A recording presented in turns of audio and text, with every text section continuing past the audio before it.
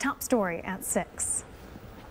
Frank and Meg, thank you. I'm coming to you from our Flint studio tonight. In a major reversal, the mayor of Flint announces that when it comes to the city's water, they will stay the course. And a multiple alarm fire breaks out at a vacant apartment complex. What investigators are saying about the possible cause. The news at 6 starts right now. WNEM TV5 News starts right now with a breaking news alert.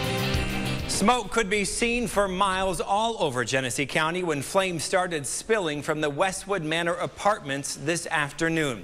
Several fire departments responded to the multiple alarm blaze. It forced a shutdown of Clio Road in Mount Morris Township as crews battled the flames at the abandoned apartment complex. TV5's Rachel McCrary joins us live from the apartments. And Rachel, what are you learning about the possible cause tonight? Thanks, David. Yeah, that's right. Fire crews are calling this fire suspicious, yet it's too early to tell exactly what caused it. Now, take a look behind me. You can see crews working to get this fire out, still spraying the area.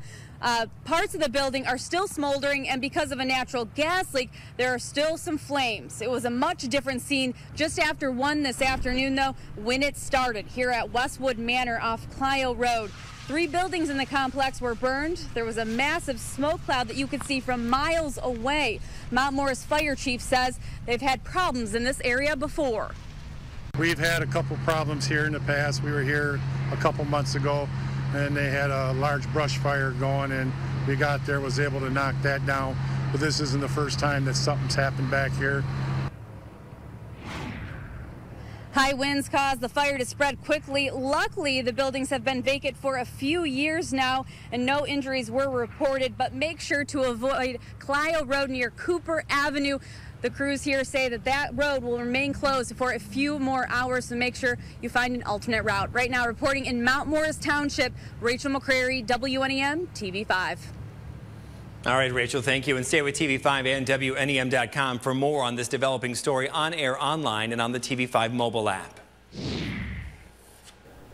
So staying with Great Lakes Water Authority means Flint doesn't have to switch its water source again.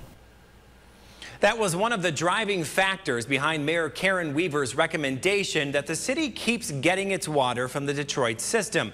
Ensuring the public's health and safety was the top priority the city considered when reaching today's decision.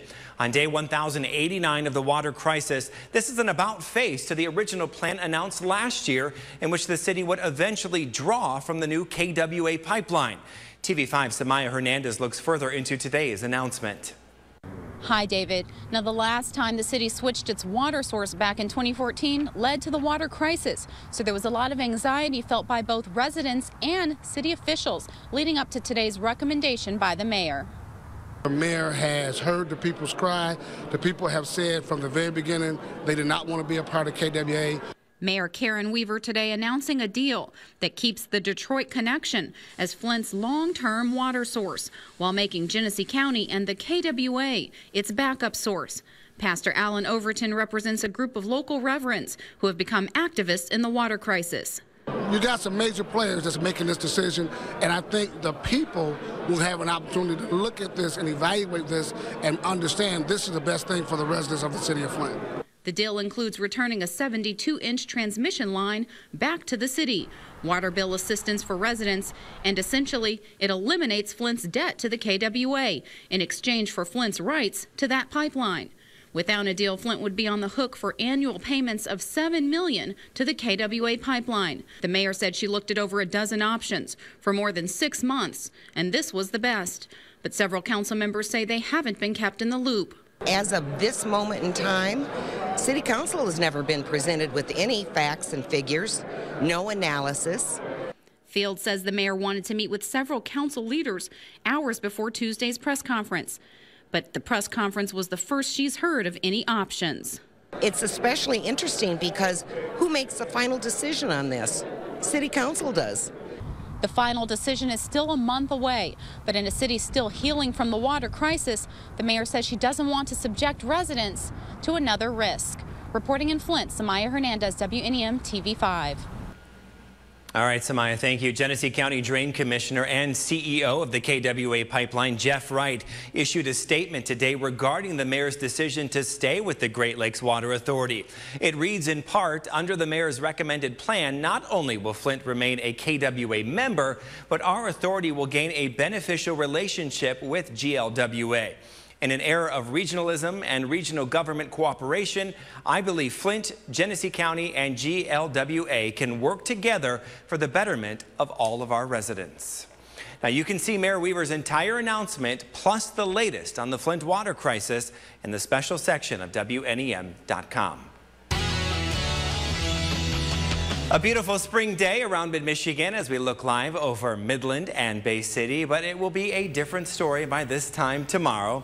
Let's go back to our studios in Saginaw where Chief Meteorologist Brian Bachman has a closer look at the forecast. Hi, Brian. Hi there, David. That's right. After a pretty good amount of sunshine we actually were treated to over the course of our Tuesday, we've already given it back up in a lot of spots to some cloudy skies rolling in ahead of our next disturbance. But clouds are not. Still a very nice Tuesday evening ahead of us here with this live look over Laker Elementary School in Pigeon. 60 degrees still there right now. So even a lot of you folks who in the thumb yesterday didn't really get into those warmer temperatures, you've moderated pretty nicely with that added sun today. But yeah, let's stop talking about how sunny it was and just take a replay of it for ourselves. Beautiful day, of course, really until about the mid stages of the afternoon. Then, of course, you saw those clouds come streaming in from the west. And that brings us right here into the present time frame right now. But at least in the near term this evening, the wet weather, it's going to hold off for a little bit. So it's not really going to have a major impact on your Tuesday evening plans. Let's take a look at those temperatures once again. 60 degrees even now in Houghton Lake. You've come up a degree in the last hour. 65 holding steady in Saginaw, 63 in Flint. It's really only our farthest eastern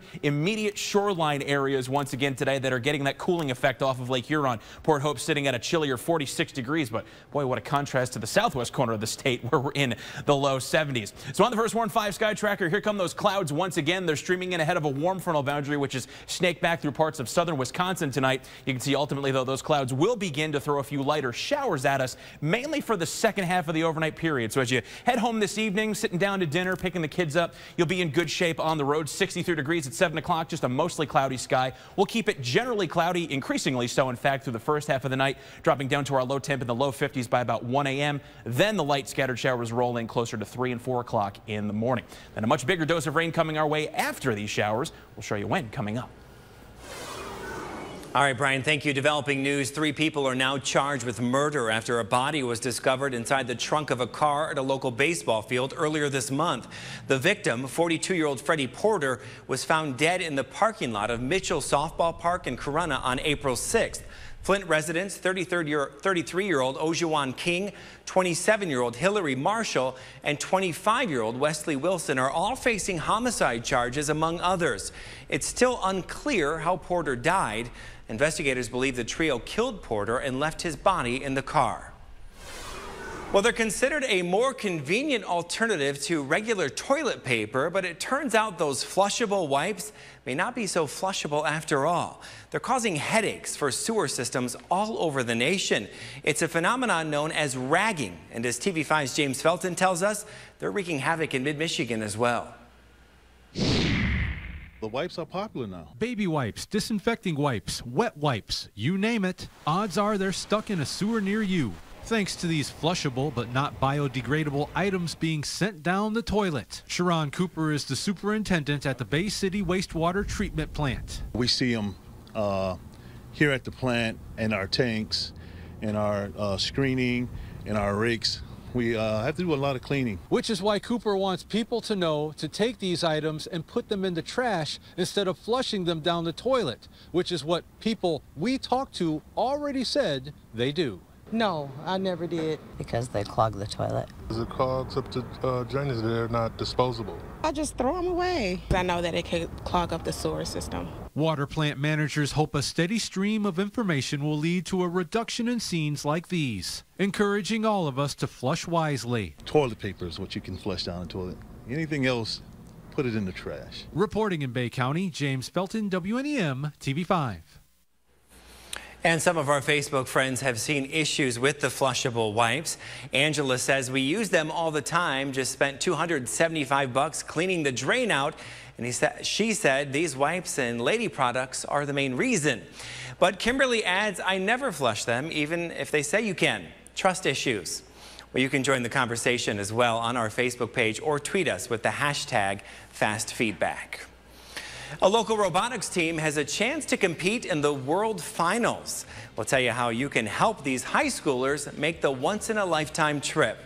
And a local boutique is hosting a special event to help foster children in mid-Michigan. You're watching TV5 News at 6, serving Birch Run, Davison, Vassar, and your hometown too. It's coverage you can count on.